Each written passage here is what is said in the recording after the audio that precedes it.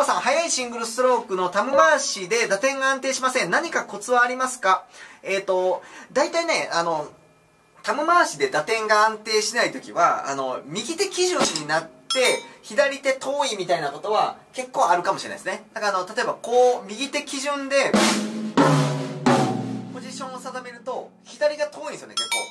左の肩からすごい遠いことになるので、体を結構ね、この、なんやろ、タムの方に向けてもらって、左手を基準に、このタムのポジションをちょっと決めてもらうみたいな。そうすると割と、真ん中を狙いやすく真ん中を狙いやすくなったりとかするので左手を基準にこの打点を決めてもらうっていうのはいいかもしれないですね。右手を基準にいけるとロータムとか行った時めっちゃ遠いのでなんかこういうところに当たったりするんですよ。こう。そう。なので左手基準に決めてもらってで左手基準にすると右手はまだ狙いやすいんで。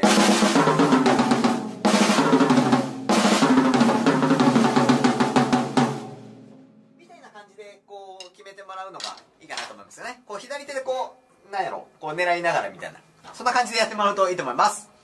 え